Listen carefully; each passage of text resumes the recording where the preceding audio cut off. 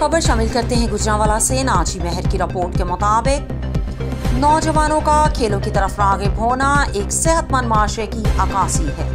हम सब की ज़िम्मेदारी है कि खेल के मैदानों को सूना ना होने दें।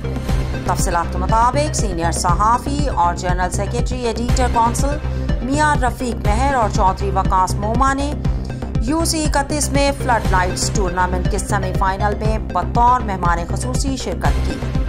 और नौजवान नस्ल के इस इकदाम को सराहते हुए कहा, हम सब की ज़िम्मेदारी है कि हम अपने नौजवानों को न सिर्फ़ खेल के मैदान आबाद रखने पर इनकी हौसला अफजाई करें, बल्कि इनके शाना बशाना खड़े हों, क्योंकि सेहतमंद माशा ही तरक्की की जामिन होता है। मेहमान खसूसी ने खिलाड़ियों में इनाम भी तकसीम किए।